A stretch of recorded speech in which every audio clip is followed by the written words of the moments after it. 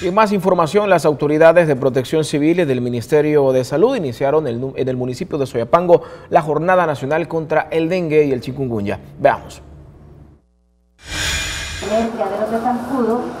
Con el lanzamiento de la campaña nacional contra el dengue y el chikungunya, las autoridades buscan prevenir estas enfermedades y proteger la salud de los habitantes de Soyapango, un municipio que registra la mayor cantidad de habitantes por kilómetro cuadrado.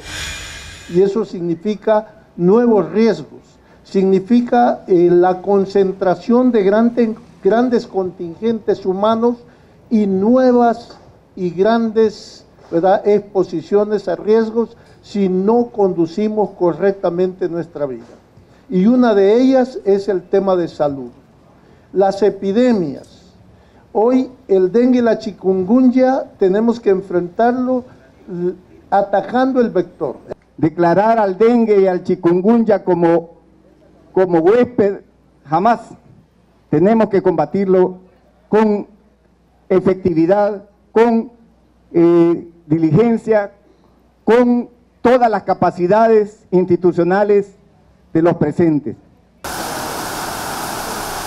El invierno se vuelve una amenaza para la reproducción del zancudo transmisor de ambas enfermedades. Por ello, el llamado de las autoridades para tomar medidas de prevención. El dengue y la fiebre chic han registrado una baja significativa en las últimas semanas, según las autoridades del Ministerio de Salud.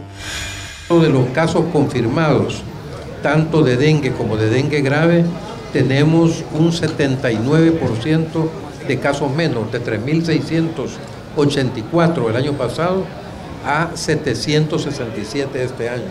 En el caso de chikungunya tenemos actualmente 9.496 casos eh, hasta lo que va de 2015. Tenemos 44 eh, hospitalizaciones y 3 casos confirmados. Varias cuadrillas de empleados del Ministerio de Salud, en coordinación con la alcaldía de Soyapango, gobernada por el FMLN, visitarán los hogares para fumigar y concientizar a los habitantes sobre las consecuencias de no eliminar los criaderos del zancudo Aedes aegypti.